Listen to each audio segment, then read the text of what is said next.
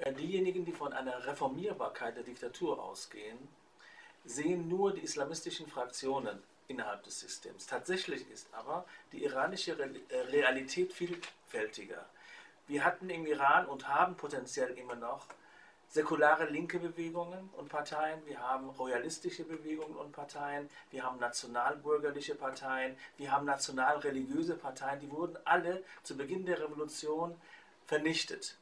Und äh, die sind aber potenziell und historisch noch da. Sie wären auch eine politische Alternative für den Iran und sie würden tatsächlich die Reformierbarkeit, einen reformierten Iran darstellen. Sie sind aber verboten. Und äh, die Diktatur wird es nicht erlauben, dass diese Kräfte wieder an die Macht kommen oder überhaupt sich an dieser Macht, an dieser, an, an einem Staat sich beteiligen. Das ist für mich der Beweis dafür, dass sie ein Monopol, einen totalitären Machtanspruch haben, Monopolanspruch haben, den sie nicht abgeben wollen und können.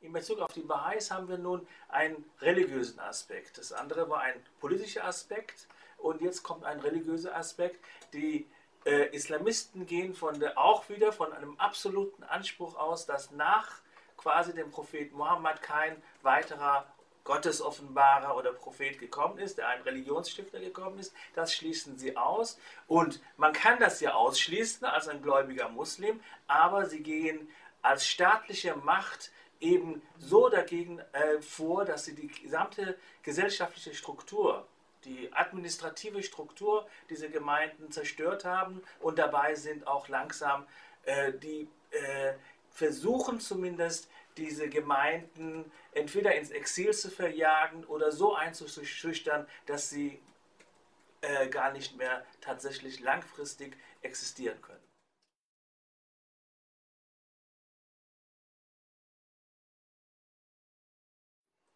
Verbindliche Fatwas, auch in der Form, gibt es nur in Bezug auf zum Beispiel diesen Sänger Najafi. Das, was Khamenei in Bezug auf die Atombombe gesagt hat, erinnert mich nur an die Aussagen von Khomeini vor der Revolution und nach der Revolution, dass wir auch eine Demokratie haben, dass wir auch eine Gleichberechtigung haben. Und dabei haben sie alle Demokraten vernichtet, äh, die Frauen verschleiert und äh, eine geschlechtsspezifische Apartheid eingeführt. Das sind politische Aussagen, die Khamenei gemacht hat, die keineswegs mit einer Fatwa zu verwechseln sind. Zumal Fatwas eine Definition haben. Khomeini hat in seinem Buch ganz klar definiert, wenn eine Fatwa nicht ausdrücklich als Fatwa festgeschrieben ist und der gläubige Muslim nicht davon ausgehen kann, dass das tatsächlich ein Fatwa ist, was der Ayatollah oder Kleriker äh, behauptet, dann braucht er diesem Spruch gar nicht zu folgen. Das ist quasi, da haben sich die in der religiösen Rechtsprechung,